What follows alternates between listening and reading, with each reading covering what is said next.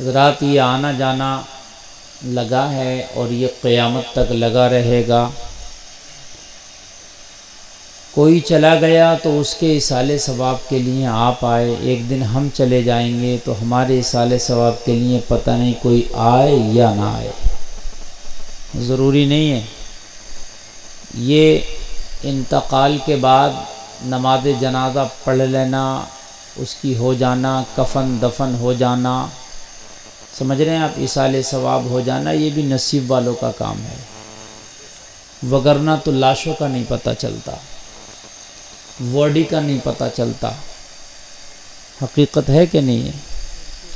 अगर इंतकाल के बाद जल्दी दफन होना नसीब हो जाए तो ये भी खुशकिस्मती है। चूँकि कभी कभी ऐसा होता है कि इंतकाल के छः महीने के बाद दफन किया जाता। छः छः महीने लग जाते हैं, ऐसा भी मेरे सामने केस आए और आते हैं। तो इंतकाल हो जाए, उसको मिट्टी मिल जाए, उसके कफन दफन अच्छे से हो जाएँ, नमाज़ जनाजा हो जाए, लोग इसाले सवाब करें, ये भी नसीब वालों का काम है। मरना सबको है, हमें भी जाना है, आपको भी जाना है। लेकिन इज़्ज़त की मौत और इज़्ज़त की ज़िंदगी, ये दोनों दुआ किया करो।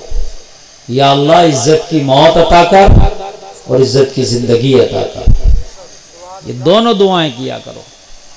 और फिर ये भी किया करो, या अल्लाह, ज़िंदगी इस्लाम पर और ख़ात्मा ईमान पर फरमा।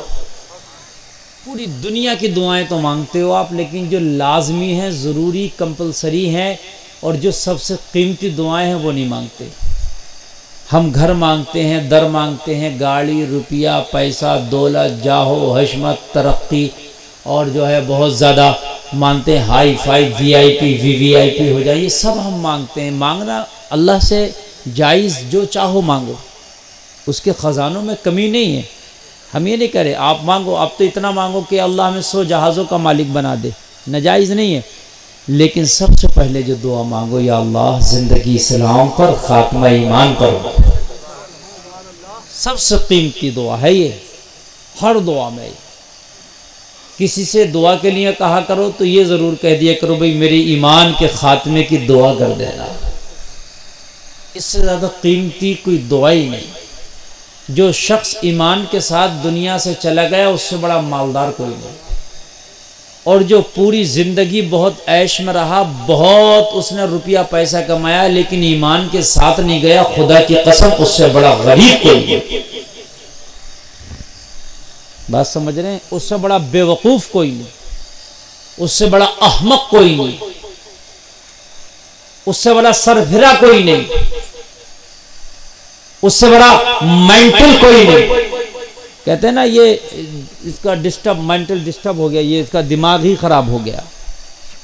हमने दुनिया में आए और दुनिया में आके हमने दुनिया को तो तलाश किया मगर हमने दुनिया में आके खुदा को तलाश करने की कोशिश नहीं की। हाय हाय हाय।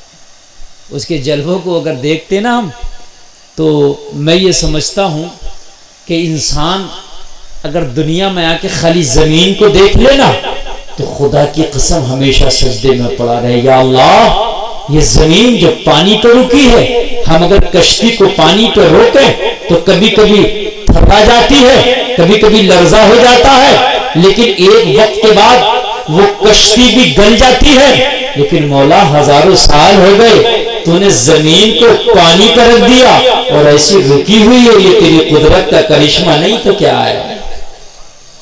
बताओ भाई है कि नहीं है? आप बिल्डिंग बनाइए। और बिल्डिंग में जब तक क्या पिलर ना हो, बिल्डिंग आपका लिंटर नहीं रुकेगा।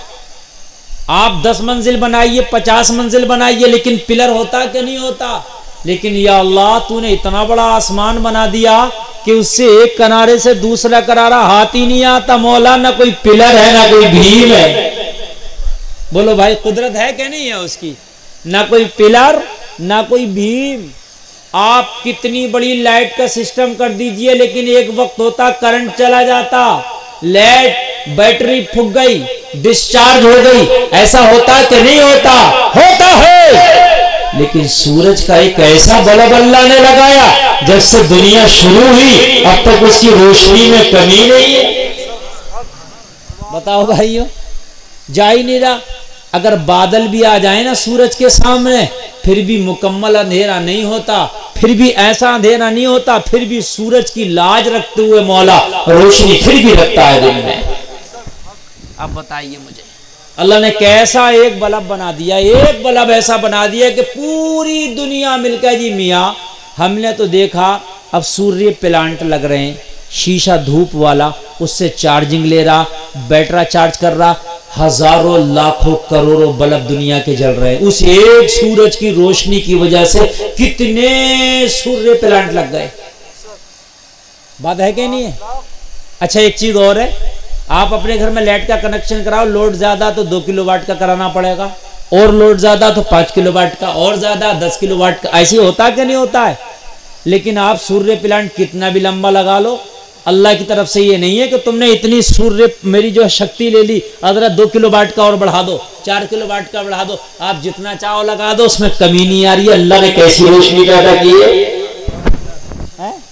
फिर भी इंसान कह रहा है, भाई, हमें तो कुछ नहीं भी मज़ा तो अनिल अंबानी को, फला अंबानी को, फला अडानी को आ रहा है, हमें क्या मियाँ बड़े गरीब है बेवकूफ़ गरीब है, सूरज की जो रोशनी का मज़ा ले रहा है, ये क्या कम है? अडानी अंबानी तो छोड़ दे प्लेन ट्रेन तो छोड़ दे ये जो फ्री में रोशनी ले रहा पूरी ज़िंदगी जो तूने रोशनी ली है, खाली एक बल्ब जला के देखी जितनी चेक इन करने वाले आते हैं, हालत खराब हो जाती है। ये रीडिंग नाप के लेके जाएँगे, उसके हिसाब से तुझे बिल देना भाई, ये बात है कि नहीं है? हैं? बिल देना, मोटर चलाई, उसका बिल देना, और एसी लगा दी, चोरी से तो अंदर जाएगा। नहीं तो बिल देना।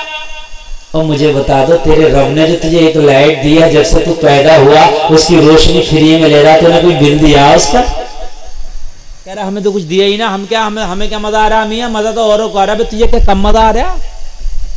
फ्री की रोशनी ले रहा और कितना मज़ा आएगा? भाई भाई, कुछ ना दे अल्लाह, कुछ ना दे। खाली सूरज की जो रोशनी हमें दे रहा है उसका शुक्र अदा कर सकते हैं बताइए आप जरा। जरा बोलो ना सुबह अल्लाह बोलो, ये उसकी कुदरत है क्या नहीं है भाइयों?